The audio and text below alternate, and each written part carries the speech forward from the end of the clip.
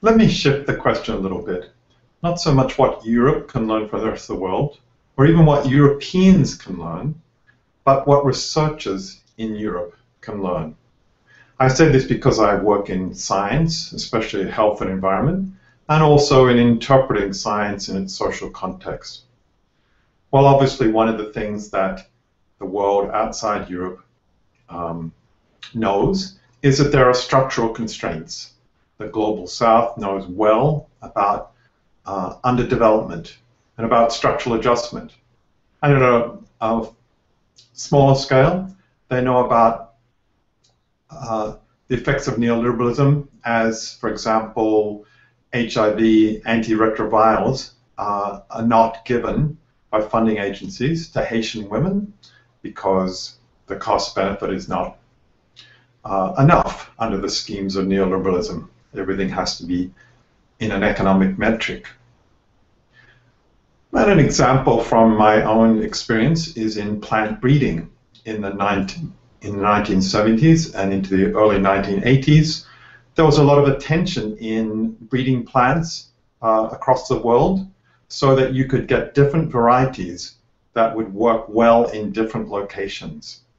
But with the advent of molecular biology, the tinkering that was done of genomes to try to change some aspect of their physiology led to uh, a much smaller set of cultivars, a much smaller set of um, varieties, and the pressure was to change the uh, locations, change the environments, to make them uniform, to make them suitable for these uh, genetically modified plants.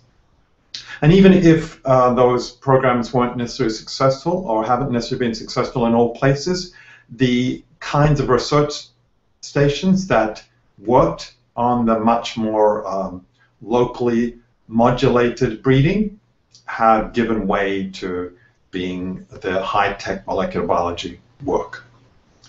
But I also, when we talk about structural constraints, I think we need to think about the structuring uh, and that that's more complex.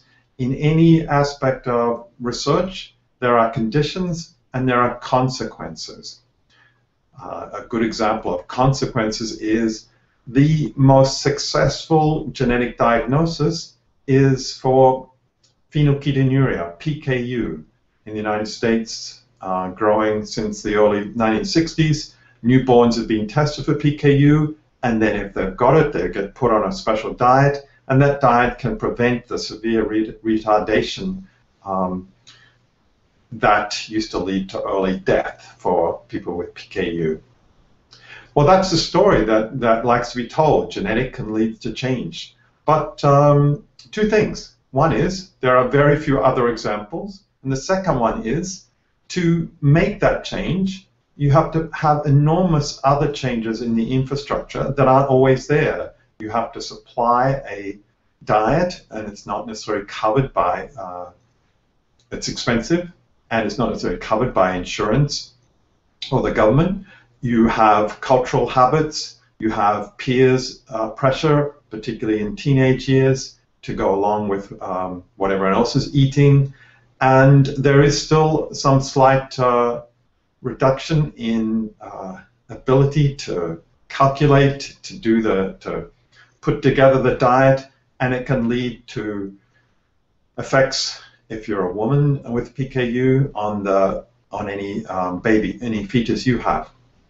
So this genetics leads to medical amelioration is actually uh, much too simple a story it, the consequences depend on a lot of infrastructure that may or may not be put in place. It assumes that infrastructure.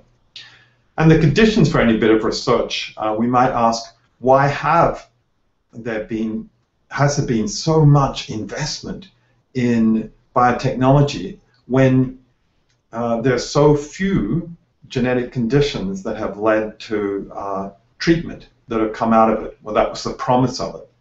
Well, there's many promises out of genomics. Uh, it's a field that makes promises, and it, um, we have to think about the conditions where promises, uh, the neoliberal financialization of everything, where promises count as much as the actual substance. And of course, biotech and big pharma have benefited from the promises, the idea that uh, invest in us, give us the uh, patents, though in the United States the patent protection has partly been taken away this year.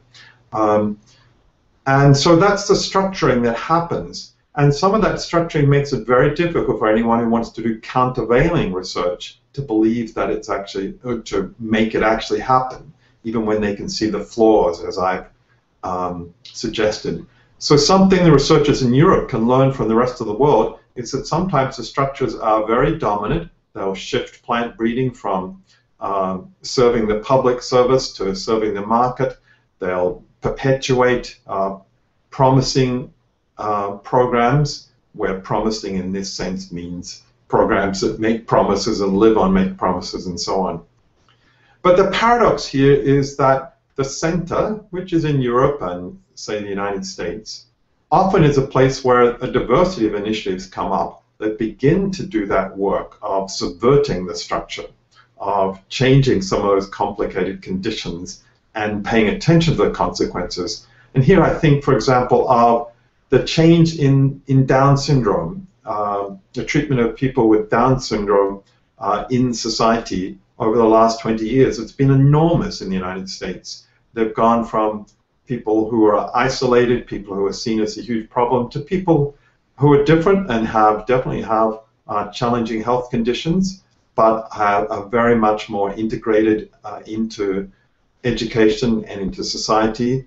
Um, and at the same time, paradoxically, as uh, prenatal diagnosis leads to various couples uh, aborting before the, the child's being born.